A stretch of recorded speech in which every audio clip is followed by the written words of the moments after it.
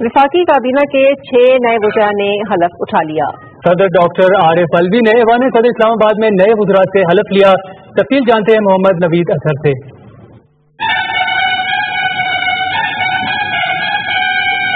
ایوان صدر اسلام آباد میں ہونے والی تقریب میں صدر ڈاکٹر عارف الوی نے نئے وفاقی وزراء اور وزرائے مملکت سے الگ الگ حلف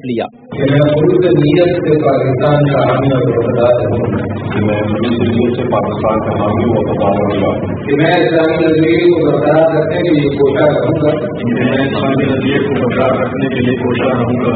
برداری کی تقریب میں وفاقی وزراء ارکان پارلیمنٹ اور اعلیٰ حکام شریک ہوئے۔ عمر ایوب خان سید حیدر علی زیدی علی محمد خان مہر نے وفاقی وزیر جبکہ مراد سعید محمد شبیر علی اور محمد حماد اظہر نے وزیر مملکت کے عہدے کا حلف اٹھایا۔ گزرا نے عزم ظاہر کیا کہ نئے پاکستان کے لیے وہ دن رات محنت کریں گے۔ ہماری پارٹی کو جو مینڈیٹ ملا ہے وہ ایک تبدیلی کا مینڈیٹ ہے وہ اسٹیٹس کو کو توڑنے کا مینڈیٹ ہے۔ یہ مینڈیٹ ہے کہ عوام کو سہولیات اور عوام کو فیسلٹیز دیں ہم لوگ ہم لوگ مواقع پیدا کریں۔ One of the most important ministries ports and shipping جس کا برا حال کیا ہوا ہے ایک ڈریم ہے میری اس کو کنورٹ کرنے کی وہ ایسے کنورٹ ایسے کرنے کی کہ پاکستان کی جو ایک ڈوبتی ہوئی معیشت ہے، اس کو وہ اس میں تیرنا شروع کرے۔ پینتالیس فیصد سے زیادہ لوگ جو ہے وہ غربت کی لکیر سے زندگی گزار رہے ہیں۔ یہاں پہ صحت کی سہولیات نہ ہونے کے برابر ہے۔ پھر اس کے بعد ڈھائی کروڑ بچہ جو ہے آپ کا اسکولوں سے باہر ہے۔ اتنے بڑے مسائل اور وجہ کیا ہے کہ آپ کے لیے ایک ایماندار قیادت کی ضرورت تھی، عمران خان آ گیا۔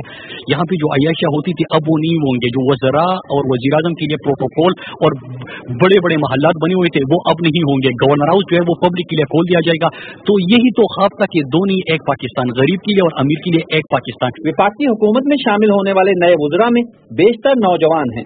اکیڈیمکلی بڑے ساؤنڈ ہیں ینگ فیسز ہیں اور لائل ہیں اور محنتی ہیں۔ مراد کی مجھے دلی بہت خوشی ہے، حماد اظہر بہت ٹیلنٹڈ ہیں، علی زیدی جو ہیں ہمارے بہت پرانے ساتھی بھی ہیں۔ یہ صرف عمران خان کر سکتے ہیں کہ اتنے ینگ لوگوں کو مین اسٹریم میں لانا، یہ وہ لوگ ہیں جو عمران خان نے بڑے کیے ہیں۔ یہ عمران خان کے اسٹوڈینٹس کہہ لیں خان صاحب ان کے خود مینٹور ہیں۔